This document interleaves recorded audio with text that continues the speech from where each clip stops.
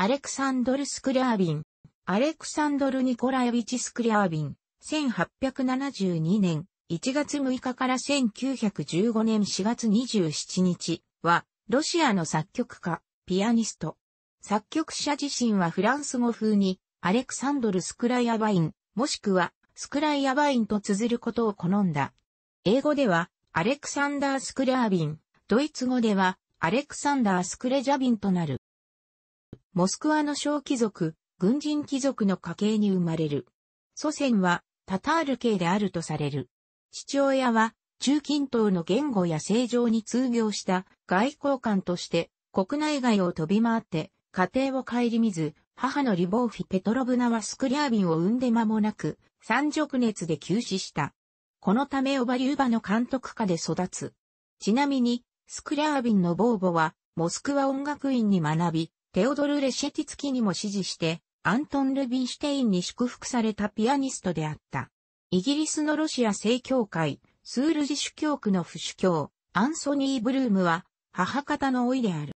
幼児期からピアノを始める。10歳で自ら望んで陸軍兵学校に進むが、小柄で虚弱なことと学業が優秀なこと、そして学祭が顕著なことから、特別にモスクワ音楽院への通学が認められ、14歳から院長、タネーエフに作曲と音楽理論を、ズベーレフにピアノを指示。もともと即興演奏を好む少年だったが、この頃から作曲したものを五線譜に残すことを習慣づけるようになる。1888年から周囲の勧めで正式にモスクワ音楽院に転学、ピアノ科でサフォーノフに、作曲家でアレンスキーに指示する。同級生にラフマニノフがいた。気難しく扱いにくい性格のあったスクリャービンに、アレンスキーは手を焼いた。結局スクリャービンは作曲家を終了することができず、ピアノ科のみで単位を取得した。この頃作曲家としてはラフマニノフが、ピアニストとしてはスクリャービンが有望視されていた。ピアノ卒業試験においては、ラフマニノフが1位、スクリャービンが2位であった。手の大きかったラフマニノフに比べ、柔道音程がつかめない程度の手の持ち主だったにもかかわらず、学生時代の同級生、ヨゼフ・レビーンらと、超絶技巧の南極の制覇数をめぐって熾烈な競争を理に続け、ついに右手首を故障するに至った。回復するまでの間に、左手を特訓するとともに、ピアニストとしての挫折感から作曲にも力を注ぐようになる。右手以上の運動量を要求され、広い音域を駆け巡ることから、左手のコサックと呼ばれる独自のピアノ処方を備えた作曲家スクリャービンの誕生であった。左手のための二つの商品作品級、前奏曲と野奏曲からなるは、当時を代表する作品の一つである。1891年頃、ミトロファン・ベリャーエフのサークルの同人となり、リムスキー・コルサコフの地遇を得て、生涯にわたる信仰を結ぶ。またベリャー F 出版社から定期的に作品の出版が開始される。1897年に衝動的に改修、ユダヤ人女性と結婚するが、これは庇護者ベリャー F の意向に沿わず、年金がカットされたために、翌1898年から母校、モスクワ音楽院のピアノ科教授に就任。教育者としての評価が下されることは少ないが、学生の間では誠実で忍耐強く、学生の意欲を尊重する教師として評判が良く、ウィーン国立音楽大学のピアノ科からスカウトされたほどだった。1900年頃からニーチェ哲学に浸水し、とりわけ超人思想に共鳴する。その後は、新知学にも傾倒し、この二つから音楽思想や作曲に影響を受ける。1902年に作曲に専念するとして、モスクワ音楽院を辞職するが、すでに門人タチアなど狩猟ツェルと愛人関係を結んでいた。1904年に家庭を捨ててタチアナと共に、スイスに出本、西欧各地を転々とする。この頃からロマン派の影響を出し個性的かつ、神秘主義的な作風へと向かう。ロレキでのクリスマス生まれだったことも、スクリャービンの神秘主義や救世主気取りに拍車をかけた。1909年から1910年までブリュッセルに住み、デルビルらのベルギー象徴主義絵画や共感覚に興味を寄せつつ、マダム・ブラバツキーの著作に一層親しんだ。これにより、自らの芸術を、新知学思想を表現するためのものとして考えるようになり、後期の神秘和音を特徴とする作品を残す。それとともに、前衛的作曲家として国際的に認められるようになった。1910年帰国。この頃にアコースティック録音とピアノロールに自作の録音を残し、クーセビツキーやラフマニノフの指揮で自作の競争曲やプロメテを演奏。作曲の傍ら国内外で精力的に演奏活動に取り組む。虚弱体質の反動から生涯にわたり、健康を気にしすぎる気味があったが、皮肉なことに、唇への虫刺されが炎症を起こし、農用による敗血症が元で、モスクワで1915年に急逝した。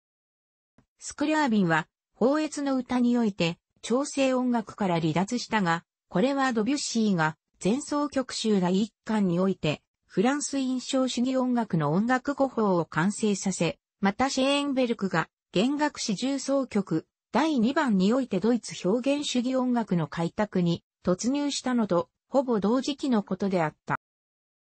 長らくスクリャービンは一過性の存在であり、音楽史上に何ら影響を与えなかったとみなされてきた。初期において濃厚な影響を受けたストラビンスキーでさえ、後にスクリャービンを単なる妄想教と切り捨てている。しかしながら、現在ではスクリャービンの影響がロシアやソ連の国境を越え、国際的な広がりを持っていることが近年になって明らかに出てきた。スクリャービンの支持者は、フェルチョブゾーニやアルバンベルクがおり、信奉者はカロル・シマノフスキや山田耕作、チャールズ・グリフス、ルース・クロフォード・シーガーなどがいる。スイス時代のスクリャービンにピアノを学んだカナダ人女性は、シカゴで音楽教師として立ち、結果的にジャズピアニストの育成に貢献したとされ、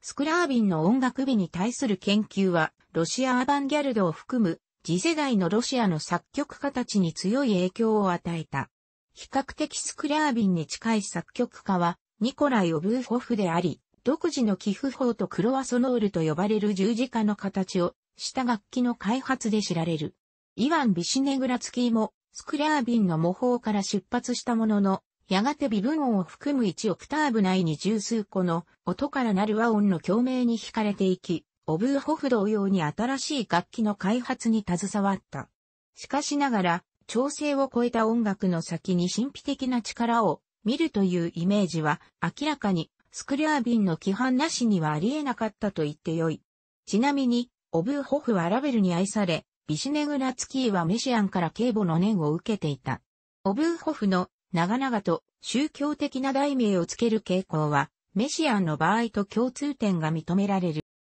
スクリャービンは自身が卓越したピアニストであったことから、自然とピアノ曲を数多く作曲した。本質的にミニアチュール、商品作家であったと言われるように、商品のほとんどは3分程度にも満たない。これは、ラフマニノフら同世代のロシアの作曲家に比べて、わかるように、スクリャービンは、優れた旋律家ではあったものの、息の長い旋律を続けざまに書くという発想がなく、古典的な学説構造を好んでいたこととも関連する。このことは全くと言っていいほど声楽曲を手掛けていないこととも関連していよう。スクリャービンは少年時代からショパンやリストを敬愛したため、ピアノ処方や旋律の発想において、この両者から大きな影響を受けている。しかしながら、左手の特訓の結果、右手に匹敵するほど柔軟な運動力を身につけたことから、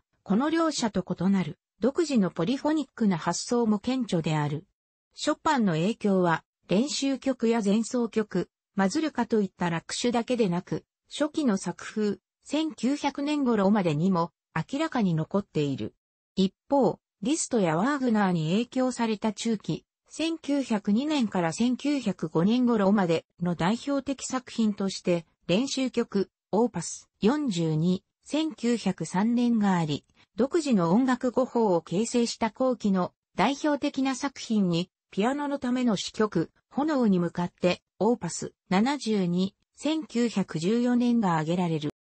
また、スクリャービンの特徴として、神秘和音を独自に生み出し、彼自身の作品でも多用されている。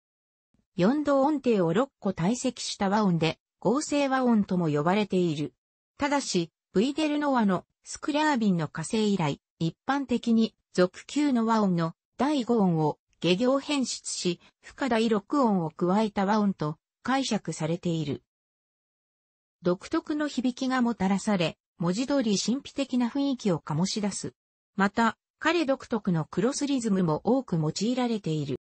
ピアノ曲以外で主要な分野は、管弦楽曲、口述のみである。室内楽曲は、数曲、歌曲は一曲、他に、オペラのスケッチが残されたに止まる。同時代のグラズノフの交響曲やラフマニノフの競争曲が、それぞれの分野において19世紀ロシア音楽の金字塔を打ち立てているとすれば、スクリャービンはピアノ曲の分野で同様の業績をピアノソナタで残している。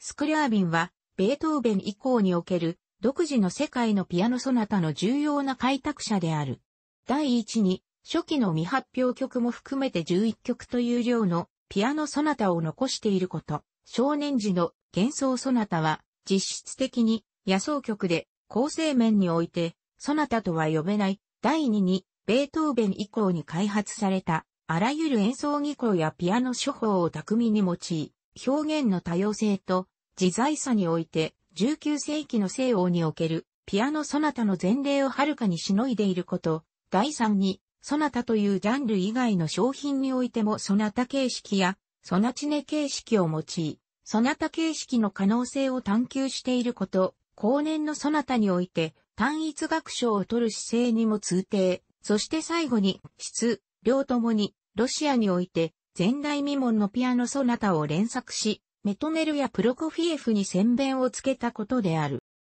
第4番までのソナタは、ベートーベンの立体的な同期老作や、論理的な楽曲構成、ショパンの叙情的な表現や、火星感覚、そしてリストの演奏技巧を組み合わせ、なおかつ独自の境地を開くことに成功している。例えば、第2番、幻想ソナタは、ベートーベンの月光ソナタの延長上にあり、第1楽章は、ソナタ形式を使ったショパン風の野草曲、第2楽章は、ロンドソナタ形式による、シュトゥルムーンとドラング風のフィナーレと解釈することができる。第4番は、前奏曲とロンドソナタという風変わりな構成だが、スクリャービンのソナタでは、例外的に第5番と共に、長調で作曲され、明るい響きに満たされている。第5番以降のソナタはとりわけ個性的で、普通では使用されないような火星や構成が大胆に使われている。6番以降の作品には調合がなく調整が機能していないため、実質的に無調で作曲されている。7番、白ミサ、オーパス、64、1912と9番、黒ミサ、オーパス、68、1913は作曲者晩年の神秘主義への系統を物語る作品として有名。第1番に先立つピアノソナト編補単調とその第一楽章を拡張したアレグロアパッショナートオーパス。4のほかポロネーズと幻想曲悪魔的な詩曲においてソナタ形式が使われおり悲劇的前奏曲や練習曲 A 派単調オーパス。42から5はソナチネ形式かまたはそれに準ずる構成が取られている。スクラービンの還元楽曲はそれほど多くなく、ピアノ競争曲、オーパス20、1898と5つの公共曲の他に公共曲作曲の終作といった側面を持つ前奏曲、夢がある。スクラービンはシューマンやフランクにも前例があるように鍵盤楽器の発想をそのままオーケストラに持ち込んだため、ピアニスティックなパッセージがしばしば目立ち、時として還元落法への未熟ぶりを浮かび上がらせることがある。それでもなお、豊かな音色のパレットを備えた還元楽曲作家であり、木管楽器と弦楽器の柔らかな色彩と金管楽器の鋭い響きとの対比や独奏バイオリンの艶やかな響きへの好みという点において、フランクやショーソンとの類似が見出される。